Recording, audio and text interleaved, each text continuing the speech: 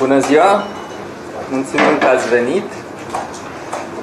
Este o conferință de presă în care anunțăm depunerea actelor pentru înregistrarea unui partid politic.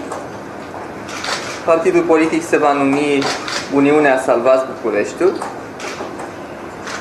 Salvați Bucureștiul pentru că continuă activitatea Asociației Salvați Bucureștiul, care are deja 8 ani, și transpune obiectivele pentru care am militat și viziunea noastră pentru București de la nivelul civic al asociației la un nivel politic